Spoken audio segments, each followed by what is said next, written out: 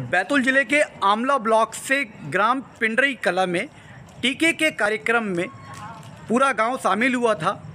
इस कार्यक्रम में खाना खाने के बाद में लगभग 50 से 60 लोग फ़ूड पॉइजनिंग का शिकार हुए, जिनको प्राइवेट वाहन की मदद से मुल्ताई के सामुदायिक स्वास्थ्य केंद्र में लाया गया, जहाँ पर डॉक्टर एवं स्वास्थ्यकर्मियों द्वारा इनका प्राथमिक उपचार किया जा रहा है।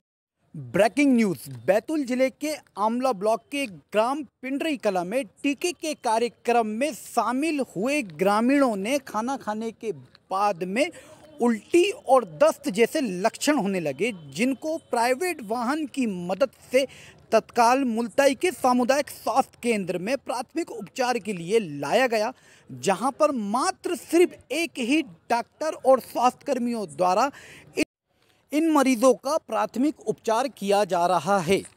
प्राप्त जानकारी के अनुसार बताया जा रहा है कि लगभग फ़ूड पॉइजनिंग के 50 से 60 लोग शिकार हुए हैं। ये गुजरा का मामला है और सब लोगों ने वहाँ टीका प्रोग्राम था। और टीके में सब लोग आए और उनने खाना वाना खाया। खाना खाने के बाद में आधा घंटे बाद सभी को उल्टी चालू हुई। उल्टी और दस्त सभी को चालू हुई। तो आपने क्या किया? फिर तुरंत वहाँ से गाड़ी की और तुरंत लेके आए कितने लोगों को लाया आपने? लगभग मैं लेके दस बारह लोग को लेके आए कुल कितने लोगों की तबीयत खराब है? लगभग है पचास से साठ लोगों। को